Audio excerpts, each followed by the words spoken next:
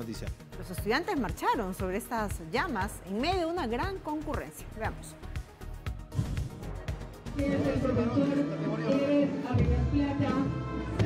Este es el momento en el que un batallón escolar de la institución educativa San Ramón marcha sobre el fuego en el centro de la ciudad de Cajamarca.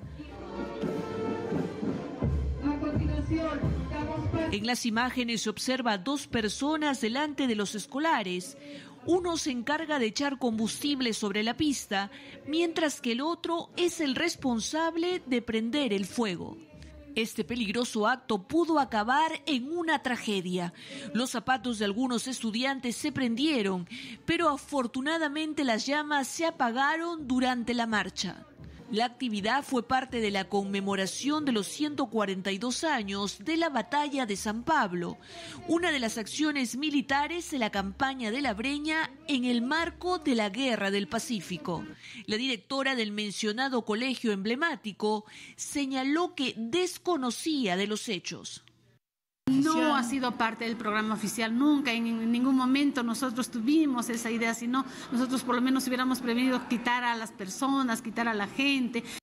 El director de gestión pedagógica de la UGEL Cajamarca también se pronunció sobre este caso. Las instituciones educativas como la de San Ramón han, han, realizado su actividad de manera muy interna y ellos pues lógicamente tienen la, toda la responsabilidad, ¿no es cierto?, de los actos que se puedan desarrollar.